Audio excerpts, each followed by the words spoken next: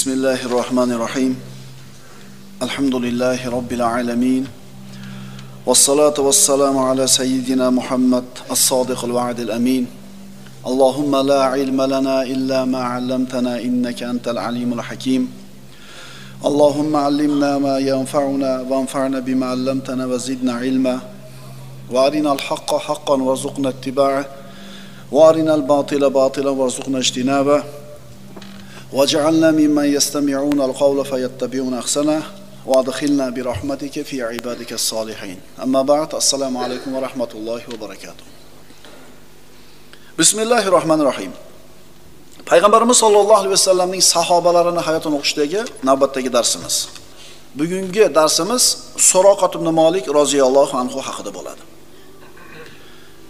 sahobalarda hayotini o'qir ekanmiz siz bilan biz kundalik hayotimizga kerak bo'ladigan xulosalarni ibratlarni olamiz. Ularni qilgan ishlari aytgan so'zlari turgan mavqiflari har bittamizga ibrat namuna. Bu sahobani hayotini e, o'qib o'rganishga kirishdan avval bir narsaga to'xtalib o'tamiz. Islomda birodarlar bir ulkan bir piramidaga o'xshatsak bo'ladi. Eng yuqori qismi qur'oni karim. Dinimiz asosi bo'lgan qur'oni karim. Undan keyingi ikkinchi qismi payg'ambarimiz sollallohu alayhi vasallamning hadis shariflari sunnatlari. Payg'ambarimizning sunnati bilasizlar qovli sunnatlari bor so'zlari va amaliy sunnatlari bor. Ikkalasi ham sunnat deyiladi.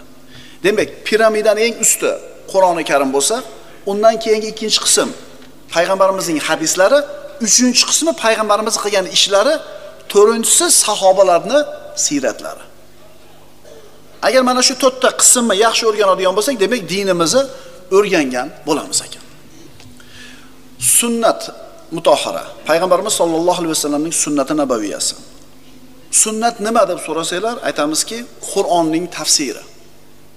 Qur'onning tafsiri nima deb so'rasanglar payg'ambarimizning sunnati deb aytamiz.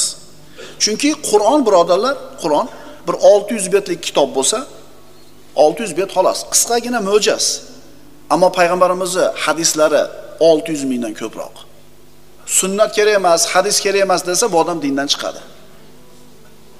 Alloh taolo qur'onda marhamat qiladi. Astaidu billah. Huvallazi ba'atha fil ummiyina rasulan minhum yatlu alayhim ayatihi va yuzakkihim va yuallimuhumul kitaba val hikma. U Alloh ummiylar ya'ni savodsiz bo'lgan kishilar orasiga o'zlaridan bo'lgan ularga Qur'on oyatlarini tilovat qiladigan ularni poklaydigan hamda ularga kitobni va hikmatni o'rgatadigan bir payg'ambarni yubordi kitob bu Qur'on hikmat bu payg'ambarimizning sunnati mana Qur'onni tushunishligimiz uchun sunnat qanchalar bizga zarur. Alloh taolo hukmlarini mo'jaz suratda bizga yubordi. Buni tafsilotlarini, ikirchikilarini payg'ambarimiz sollallohu alayhi vasallam bizga o'rgatdilar. Masalan, astag'firu billah, hurrimat alaykum ummahatukum va banatukum oyati. Sizlarga uchun onalaringiz, qizlaringiz, opa-singillaringiz, ammalaringiz, aka-ukalarning qizlari harom qilindi. shularni orasida hamda opa singil almashtirishingiz harom qilindi. Opa singilni jamlash mumkin emas bir vaqtni o'zida. Opasini qo'yib yuborib turib singlisiga uylansangiz bo'ladi lekin bir vaqtda ikkalasini jamlab bo'lmaydi. Endi oyat qarang. Hamda opa singil almashishingiz ayolingizni ammasi bilan jamlashingiz mumkin emas ayolingizni uni xolasi bilan jamlashingiz mumkin emas buni kim o'rgatdi bizga sunnati nabaviy o'rgatdi Bunga o'xshagan misollarni juda ko'p keltirishimiz mumkin. Masalan, Alloh taolo Qur'onda zakotni beringlar dedi. Endi nisobi qanaqa? Qanchada beriladi? Molni zakoti, qo'yni zakoti, tilla kim o'rgatdi buni? Sunnatini nabaviy o'rgatdi. Alloh Qur'onda o'g'rini qo'lini kesinglar deb buyurdi.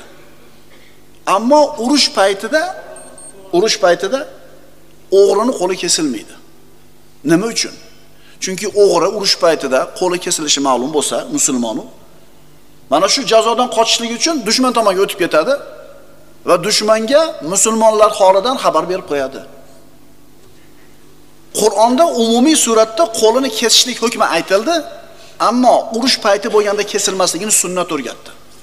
Demak, birodarlar, Qur'oni Karimning tafsiri nima desa, payg'ambarimizning sunnati deb aytamiz. Sunnat nima desa, Qur'onning tafsiri deb aytamiz. Namoz bilan tahorat ham Qur'onda mo'jaz qilib aytilgan, lekin tafsilotlarni payg'ambarimiz sollallohu alayhi vasallam o'zining fe'llari bilan hamda so'zlari bilan tushuntirib berganlar. Roza ham shunaqa. Alloh taolo roza tutinglarda-da tafsiloti sunnatdan o'rganamiz. Demak, biz aytgan piramidani eng yuqori qismi Qur'oni Karim, ikkinchi qismi payg'ambarimizning hadis shariflari, uchinchi qismi payg'ambarimiz sollallohu alayhi vasallamning qilgan fe'llar. Mana shu ham sunnat bo'ladi. Rasululloh unday qilganlar, bunday qilmaganlar. Chunki payg'ambarimiz aytganlar, sollu kama roaytumuni asli. Men qanday namoz o'qiyotganimni ko'rgan bo'lsanglar, mana shunday namoz o'qinglar. Demak, fe'llari ham sunnat bo'ladi. Endi 4 qismi bu piramidamizni. Payg'ambarimiz sollallohu alayhi vasallamning nimasi? Sahobalarining hayoti. Sahobalar birodarlar, Alloh ulardan rozi bo'lgan kishilar. Alloh ulardan rozi bo'ldi, roziyallohu anhum. Alloh ulardan rozi bo'ldi. Chunki qarang, payg'ambarimiz sollallohu alayhi vasallamni o'zinglar desak, u zot bitta odam xolos. Ammo sahobalar turli toifa insonlar. Kattasi bor, kichigi bor. Boyi bor, kambag'ali bor. Fe'li tarangi bor, fe'li kengi bor. Og'ir bosig'i bor, yengili bor. Shuning uchun payg'ambarimizni sahobalarni hayotini o'rganishligimiz bizga lozim va lobud bo'ladi. Mana endi so'roqat ibn Molikning qissasiga o'tamiz. Bu sahobaning qissasi payg'ambarimiz sollallohu alayhi vasallamning hijrati bilan bog'liq. Alloh azza va jalla musulmonlarga Makka dan Madinaga hijrat qilish haqida amrini berdi. Sahobalar hijrat qilishdi va oxirida Rasululloh sallallohu alayhi vasallam va Abu Bakr Siddiq birgalashib hijrat qilishdi. Rasulullohni Makka dan chiqib ketganligini xabarini eshitgan Quraysh jazovaga tushib qoldi. Chunki Rasululloh tunda chiqib ketgan, Quraysh xotirjam edi. Bizi qo'limizda deb o'ylashar edi. Kamiga Rasulullohni shu tunda o'ldirishlik uchun odamlarni ham yuborishgan edi. Ammo Rasulullohni chiqib ketganligi ma'lum bo'lgandan keyin har tomonga yurib qoldi Quraysh mushriklari. Abu Jahl Abu Bakr Siddiq roziyallohu anhu uyiga bordida eshikni qoqdi. Eshikni Asmo bint Abu Bakr ochdi. Abu Bakrning qizi. Otang qayerda dedi? Hozir qayerdaligini bilmayman dedi. Abu Jahl bir shapaloq urdi, yer yiqitib qo'ydi. Mushriklar har tarafga qarab shoshilib qolishdi. Arablar orasida isqivorlari bo'ladi. Ana shu bosib o'tirgan izlarga qarab turib, nechta odam qayerqa qarab ketdi, qachon ketdi, shu narsani bilib oladigan mohir isqivorlar bor edi. Ularni ishga solib payg'ambarimizni quvishga tushdi. Ana shu isqivorlar haqiqatan mohir edi. Rasululloh sollallohu alayhi vasallamni izlaridan qarab, garchi Rasululloh shimolga emas, janubga qarab yurgan bo'lsa ham, Savr g'orini oldiga kelishdi. Rasululloh bilasizlar, ana shu sabablardan bittasi, mushriklardan qutulishi sabablardan bittasi Rasulullohni safari shimol tomonga, Madinaga qarab bo'lishi kerak edi, Rasululloh janubga qarab yurdilar. Bu ham mana shu sabablardan bittasi edi. G'orga kirib o'tirdilar, Savr g'origa. Mushriklar boyagi isqivorlar yordamida kelishdi. Isqivorlar aytishdi, "Vallohi sizlar istayotgan odamlar mana shu g'orni yog'iga o'tmagan" dedi. Ular rost gapirishgan edi. Rasululloh shu yerda turgandilar.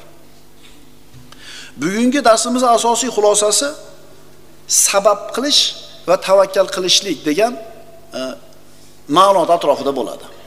Sabab va tavakkul. Payg'ambarimiz sollallohu alayhi vasallam Makka dan Madinaga hijrat qilganlarida shu maqsadiga yetishlik uchun, hijratiga Madinaga yetib olishlik uchun inson sifatida qilish kerak bo'lgan hamma sabablarni qoyim qildilar. Birinchidan, xabarni yashirdilar hijrat qilishlik xabarini. Ikkinchidan, bu xabarni yetkizgani Abu bakrni uyiga kunduzni issig'ida bordilar. Odamlar uyda o'tirardi, Makkada issiq bo'ladi, yuzini to'sib bordilar. Abu bakrni uyiga kirib, "Mo qizlaringizni tashqariga chiqaring" dedilar, chunki xabar yoyilib ketmasin. Qarang, bu sabablari Makkadan chiqishligida payg'ambarimiz sollallohu alayhi vasallam shimolga qarab yurmasdan janubga qarab yurdilar. G'orga borib o'tirdilar. ularni izlarini yopib ketadigan odamlarni tayinladilar.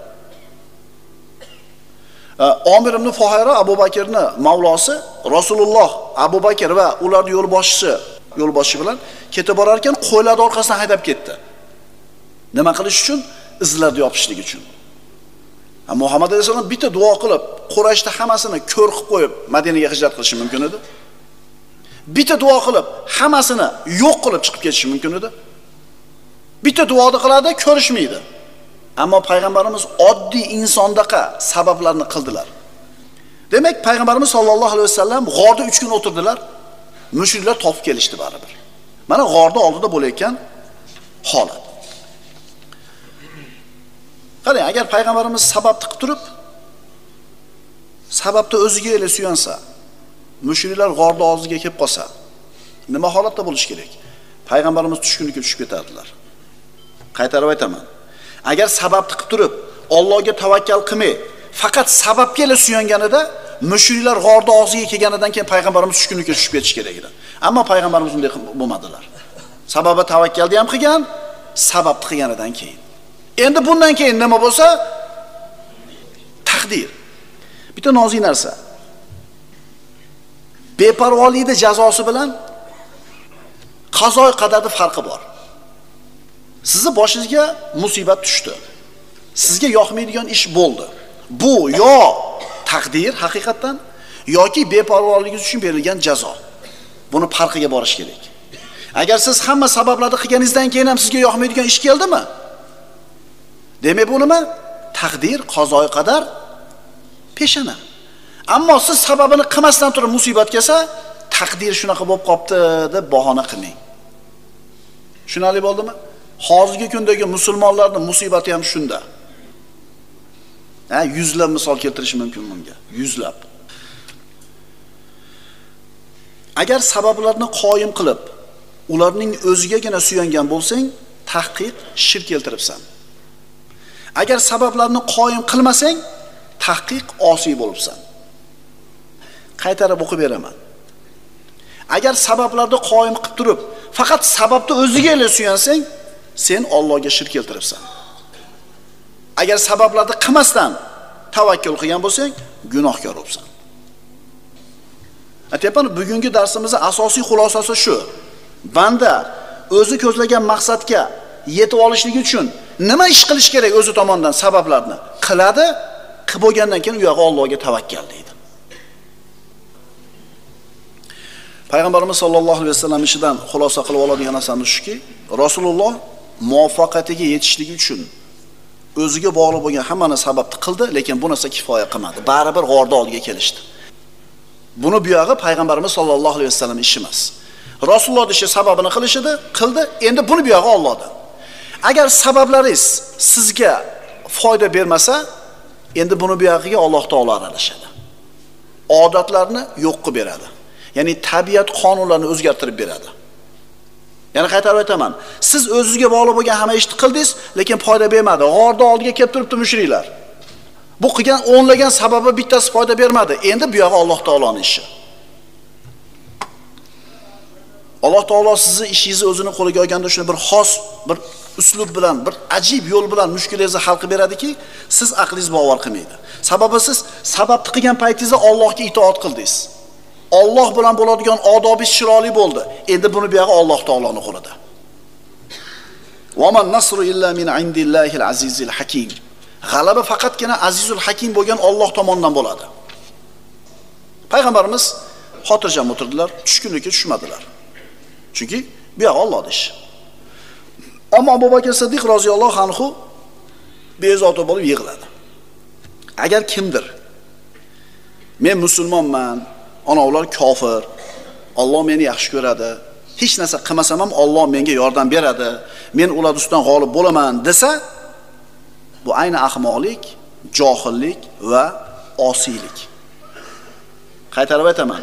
Men musulmon bo'lganligi uchun sabablarni hech qaysini qilmasam ham Alloh meni qo'llayveradi deyishlik g'irt johillik osiylik ahmoqlik. Shuning uchun aytamizki nuqsonga kamchilikka yo'l qo'yganingiz uchun kelgan jazo bilan qazoy qadarni farqi bor. To'g'rida misol bir odam avval o'layotgan bo'lsa tomiri yorilib qon oqayotgan bo'lsa indamay qarab turaversangiz keyin o'lib qolsa. Peshanasi ekanda desangiz siz o'sha qon tomirini baylab qo'ying edi sababini qilib shundan keyin o'lib qolsa nima deysiz? Demak peshana ekan deb qo'yasiz. Rasululloh sollallohu alayhi vasallam va abu bakr siddiq g'orda o'tirishar ekan mushriklarni oyog'ini ko'rib turishar edi abu bakr siddiq yig'ladi. Shunda yo rasululloh aytdilar ey abu bakr nima yig'laysiz? Yo rasululloh o'zimiz jonim uchun yig'layotganim yo'q. Sizga bir yomonlik yetishidan o'ylab qo'rqib yig'layapman dedi. Rasululloh aytdilar ey abu bakr mahzun bo'lmang. Albatta Alloh biz bilan birgadir. Innalloha ma'ana. Alloh biz bilan birgadir. Bu juda ham bir buyuk kalima. Agar Alloh siz bilan birga bo'lsa hech kim sizga makruh narsani yetkaza olmaydi. Agar Alloh siz bilan birga bo'ladigan bo'lsa hech kim sizga yomonlik yetkaza olmaydi. Agar Alloh siz bilan birga bo'lsa biz Alloh bilan birga bo'lsak qachon Alloh biz bilan birga bo'ladi? Qachonki biz Alloh taoloni hamma buyruqlarini bajarib hamma qaytarlardan qaytib maqsadimiz faqat Allohning roziligi degan narsa bo'lsa Alloh biz bilan birga bo'ladi Alloh bizni hech kimga topshirib qo'ymaydi.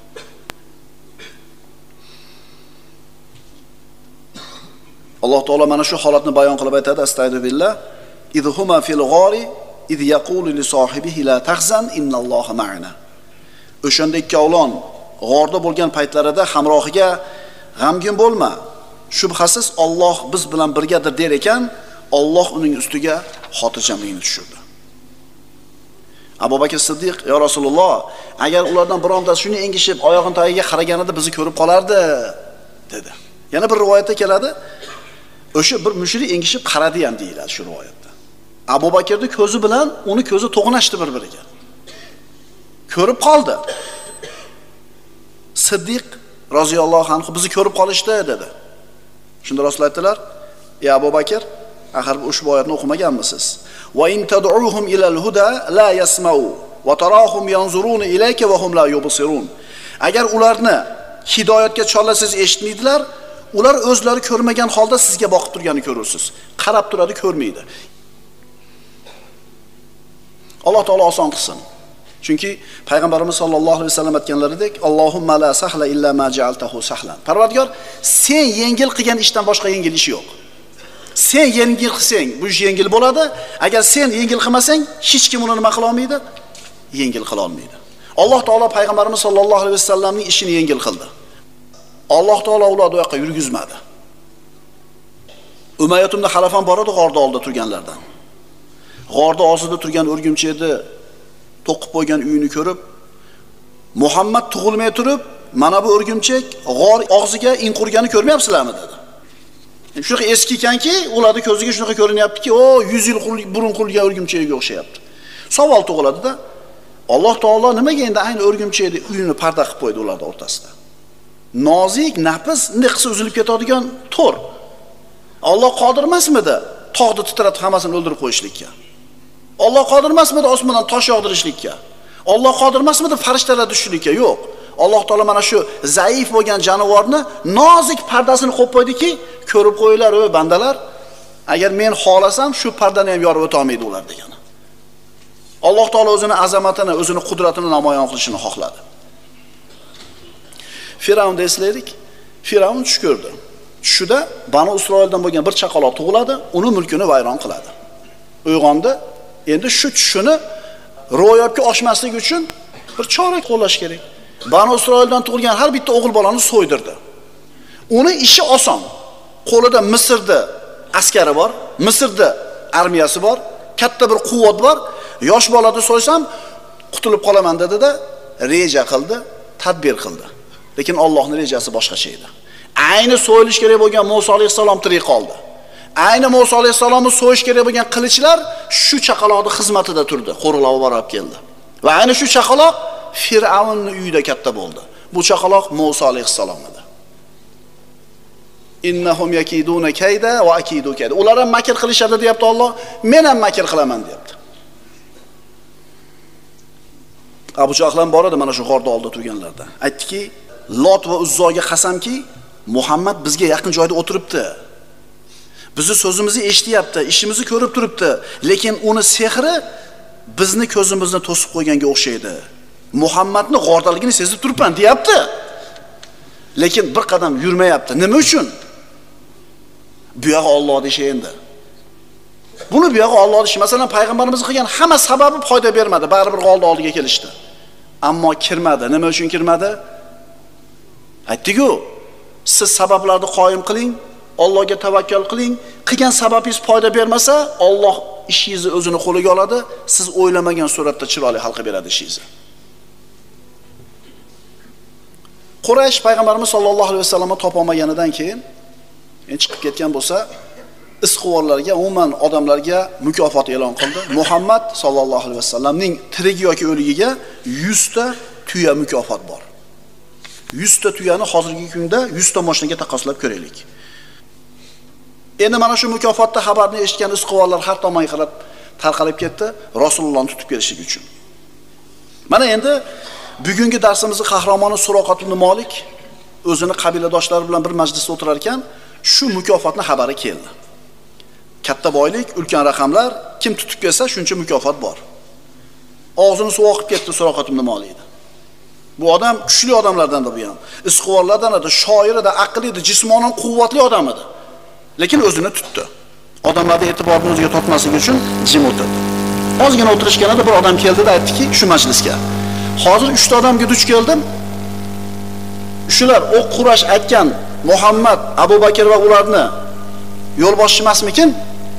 dedi. Shunda Suroqat ibn bu odamlar shu payg'ambarimiz va Abu Bakr ekanligini roziyallohu anhu tushundida atrofdagilarni chalg'itish uchun yo u palonchi palonchi palonchi yo'qotib qo'ygan tuyasini istab yurishibdi dedi. Hali xabar olib kelgan odam ehtimol shunaqa deb o'tirdi. Odamlarni xayoli bo'lindi. Shart turib ketmadi. Shubha uyg'otmaslik uchun ozgina o'tirganidan keyin, boyagi majlis boshqa gapga o'tganidan keyin sekin turdida shoshib uyga borib, joriyasiga aytdi, otni sekin olib chiq dedi. Qurollarni ildi, o'zi uchun kerak bo'lgan narsalarni oldida otini minib payg'ambarimiz sollallohu alayhi vasallam ketayotgan tomonga qarab ot soldi. Mana endi bu niyati nima bilan yakun topdi? Suroqat ibn Malik o'zini qavmini mohir chavandozlaridan edi. Baland bo'ylik, ulkan gavdalik, yo'l mashaqqatlariga sabrlik, mohir, isquvor.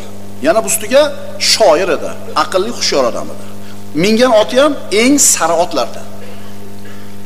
Payg'ambarimiz sollallohu alayhi vasallam va Abu Bakr Siddiq roziyallohu anhu ketishyapti. Endi yo'l boshchisi qolgan. Rasululloh Makka bilan Madinaga Madinaning orasidagi mashhur yo'l yurmaganlar. Boshqa yo'ldan yurdilar. O'shuning uchun oziq-ovqat tuyab qolgan yo'lda. O'shuning uchun Ummu Mubitni shotirga borib to'xtaganlar. Abu Bakr Siddiq uni qorasini ko'rib, "Ya Rasululloh, bir odam kelyapti." bezovta bo'ldi. Rasululloh xotirjam Qur'on o'qib ketardilar. Ya Rasululloh yaqinlashib qoldi. Ya Rasululloh kamon otsa yetkazadigan bo'lib qoldi. Shunda Rasululloh duo qildilar. Allohumma kfinahu bima shi'ta. Parvardigor, o'zing xohlagan narsa bilan unga kifoya qilib qo'ygin. O'zingga topshirdim. Rasululloh duo qildilar, Suroqani otini mana oyoqlari qumga botib qoldi. Ot to'xtab qoldi o'rnida, Suroqa otdan yiqilib tushdi. Bular tug'ilib otga o'tiradi. Bular otdan yiqilmaydi ancha munchaga, lekin Alloh taolo shunday bo'lishini xohladi. O'rnidan turdi, shumlandi, otini so'kdi. Keyin ozgina turdi, oti bo'shadi oyog'i. Yana mindida, yana payg'ambarimiz tomonga qarab yurdi. Rasululloh duo qildilar, ikkinchi marta yiqilib tushdi otidan. Otini oyog'i yana yerga sanchilib qoldi. Shumlanishi ko'paydi. Ortiga qaytmoqchi bo'ldi. Ozgina turib otini oyog'i bo'shadi, mindida 100 ta tuya. Dedi yana payg'ambarimiz ortidan ot soldi. Payg'ambarimiz sollallohu alayhi vasallamga orqasidan mana yurib borar ekan, 3-marta otini oyog'i yerga sanchilib qoldi. G'arib holat. Otini yurgizsa oldiga jilmaydi, o'zi yiqilib tushgan, xuddi otini biroq qoqib qo'yganda yerda mahkam turibdi. Shunda nochorlikdan o'ldiraman deb kelayotgan boyagi isqivor endi kechirim so'rab yordam so'radi. Ey, ikki oila Robbilarga duo qilinglar. Meni otimni oyog'ini bo'shatib yuborsin.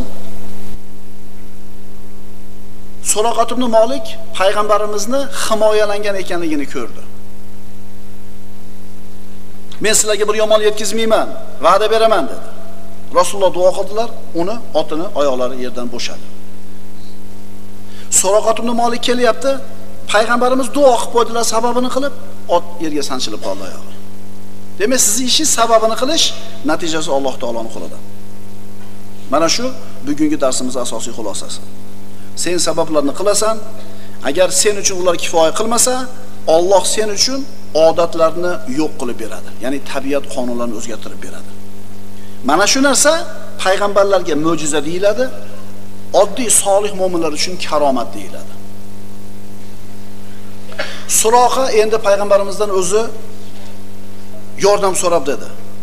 Duo qilinglar, meni otim bo'shasin, meni bor narsam sizlarga bo'lsin, matohlarim, qurollarim ham sizlarga. Yana orqamdan kelayotgan odamlar bo'lsa, ularni ham qaytaraman. Allohning nomini o'rtaga qo'yib qasam ichaman, va'da beraman dedi.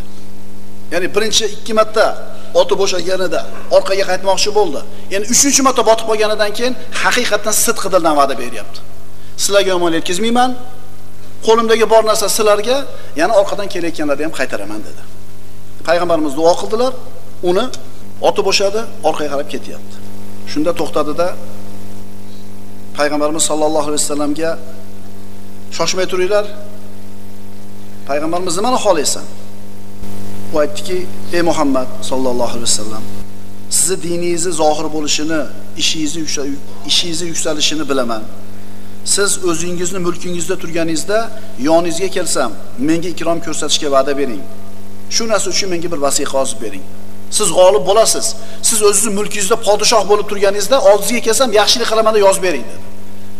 Rasululloh aytdilar, Abu Bakr Siddiq bir suvekka shu narsani yozib berdi.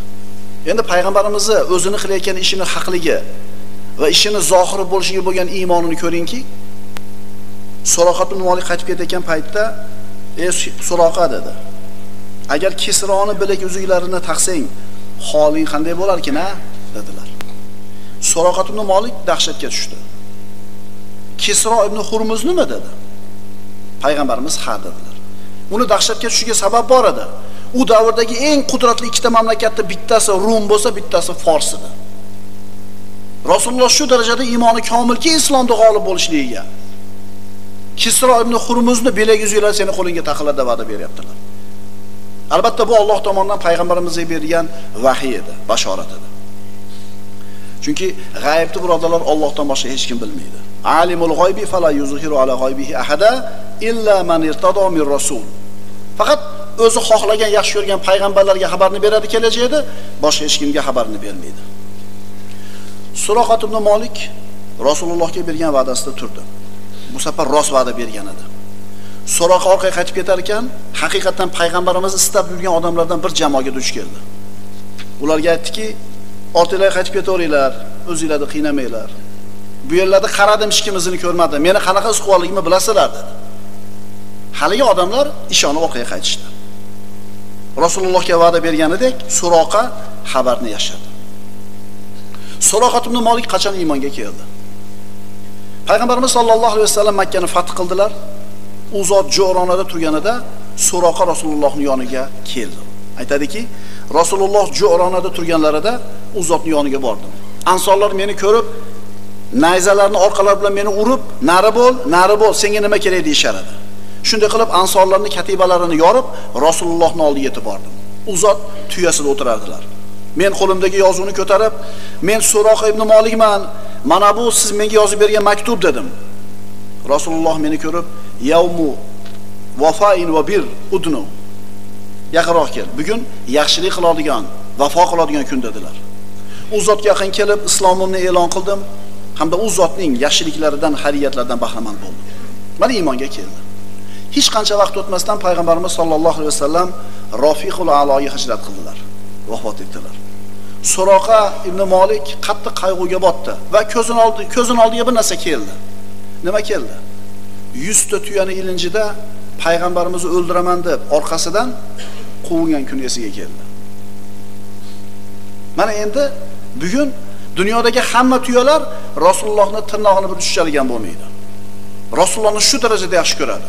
Mana shu iymon bo'ladi, birodarlar. La yu'minu ahadukum hatta akuna ahabba ilayhi min waladihi va validihi va nasi ajma'in. sizlarni bittalarni iymoninglar komil bo'lmaydi dedilar Rasululloh to men unga bolasidan ham, otasidan ham hamma insonlardan sevimliroq bo'lmagunimcha. So'raylik o'zimizdan. Biz Rasulullohni shunday yaxshi ko'ramizmi, yo'qmi? Kunlar ketidan kunlar o'tdi. musulmonlarning ishi al foruq Umar ibn hattob roziyallohu anhuni qo'liga o'tdi. Xalifa Umar ibn hattob Musulmonlarning qo'shini Fors mamlakatiga qarab yurdi. Bu qo'shin qo'shinlarni mag'lub qilib, qal'alarni birin-ketin fath qilib, son sanoqsiz g'animalarni qo'lga kiritdi. Umar ibn Xattob roziyallohu anhuning xalifalik davrining oxirlarida ana shu Forsda jang qilayotgan ulkan musulmon qo'shinining amiri Sa'd ibn Abi Waqqosdan elchilar keldi. Ular Forsni ular mag'lub qilganligi bashoratini olib kelishgan edi, yana son sanoqsiz o'ljalarni ham o'zlari olib kelishgan edi. G'animalar xalifaning oldiga qo'yilgan. Xalifa bu g'animalarni hayrat bilan kuzatib turar ekan, orasida Kisroni dullar bilan bezalgan tojini, oltin iplar bilan tikilgan kiyimlarini, javharlar bilan zinatlangan kamarini, misli yo'q bo'lgan bilezuylarni ko'rdi. Bundan tashqari yana son sanoqsiz boyliklar. Xalifa qo'lidagi aso bilan bu xazinalarni turtib turib, atrofdagi odamlarga qaradi, ko'zidan yosh oqayotdi. Ali ibn Abi Talib xalifaga nima yig'laysiz? Ona odamlarni omonatdorligigami? deganida xalifa ha deb javob berdi. Ey Amirul Mu'minin, siz iffatli bo'ludingiz, ular ham iffatli bo'lishdi. Agar siz shunday bo'lmaganingizda, ular ham shunday bo'lishmas edi. Amirul Mu'minin Umar ibn Xattob Suroqat ibn molini chaqirdi. Unga Kisroni, ko'ylagini, servolini, etigini kiydirdi, kamarini taqtirdi, boshiga tojini qo'ydi hamda qo'liga Rasululloh unga va'da qilgan belak uzuklarni taqib qo'ydi. Musulmonlar takbir aytishdi. Allohu akbar, Allohu akbar. Rasulullohni bergan bashorati ro'yobga chiqdi. Rasululloh o'zi yo'q. Rasulullohni bergan bashoratini eslab hamma yig'ladi. Shu yerda turganlar takbir aytdi, yig'ladi. Albatta bu bashorat payg'ambarimizga Alloh tomonidan berilgan vahiy edi. So'ngra Umar ibn hattob Suroqaga qarab, "Hay hay hay hay, ey Suroqa, Banu Mudlijdan bo'lgan bir arobiyning boshida Kisroni toji, ikki qo'lida esa uni bilezuklari bo'ladimi?" dedi. So'ngra Umar ibn hattob samoga boshini ko'tarib, "Parvardigor, albatta bu molni o'zingning rasulingdan man qilgan eding. Vaholanki u zot mendan ko'ra senga suyukliroq edi, karamliroq edi. Yana bu boyliklarni Abu Bakrdan ham man qilding. Vaholanki u ham mendan ko'ra senga suyukliroq va karamliroq edi. Bu mollarni menga berding. Ularni menga makr qilish uchun bergan bo'lmagin, o'zingdan paloh tilayman deb duo qildi. So'ngra shu majlisdan turmasdan mollarni hammasini taqsim qilib yubordi. Sahobalar shunday bo'lishgan. Taqvoli, kamtar, xayr saxovatli. Alloh azza va jalla ularning hayotidan o'qib, o'rganib, ibrat olishni barchamizga nasib etgan bo'lsin. Aqulu qawli hada